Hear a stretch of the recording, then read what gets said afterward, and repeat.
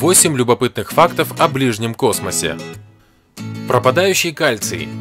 Одушевленные создания построены из тех же молекул и атомов, что и неживая материя, поэтому аномальное, на взгляд землянина, изменение законов физики действует и на них.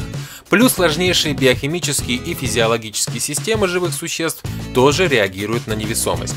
Например, во время первых длительных космических полетов выяснилось, что в невесомости из костей очень интенсивно вымывается кальций. За месяц на орбите космонавты теряют как минимум 1,5% костной массы. Причины этого неотвратимого процесса до конца не ясны. Ученые предполагают, что дело, хотя бы отчасти, может быть в том, что механизмы, отвечающие за поддержание костей в нормальном состоянии, ориентируются на внешние стимулы, том числе постоянное земное притяжение. Когда оно исчезает, системы, которые миллионы лет складывались с учетом гравитации планеты, дают сбой. Не менее пагубно невесомость сказывается на мышцах. На Земле мускулатура работает даже тогда, когда мы смотрим телевизор или спим. В космосе мышцы практически выключаются и очень быстро усыхают. Когда 10 декабря 1982 года Анатолий Березовой и Валентин Лебедев вернулись с орбиты после рекордно длительной на тот момент миссии больше 211 суток, их пришлось выносить из корабля «Союз Т-7». У космонавтов атрофировались мышцы, и только после интенсивного курса реабилитации они смогли нормально ходить.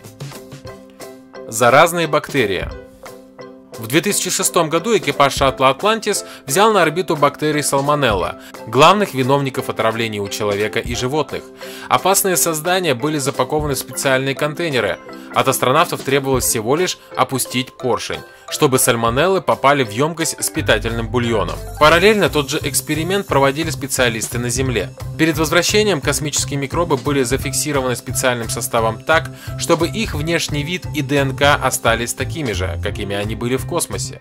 Изучив привезенных астронавтами сальмонелл, исследователи выяснили, что по сравнению с земными бактериями у них стали иначе работать 167 генов и изменилась интенсивность синтеза 73 белков. Эти адаптации были ответом на стресс от невесомости и значительно повысили заразность. Попав в космос, микроорганизмы активизировали гены, которые отвечают за формирование биопленок, объединений бактерий, внутрь которых не могут пробиться ни иммунные клетки, ни антибиотики. Поэтому в длительных миссиях, например на Марс, людям стоит опасаться не только радиации или инопланетян, но и родных бактерий. Цветущая роза Растения особенно недоумевают без гравитации, ведь их корни, стебли и ветви узнают, куда расти, ориентируясь на притяжение Земли. Это явление называют геотропизмом. Но у флоры есть один трюк, благодаря которому космонавты уже давно разбили на орбите грядки. Растения могут определять направление вверх-вниз еще и по источнику света. Они принимают лампочку за солнце и тянутся к ней, компенсируя отсутствие силы тяжести.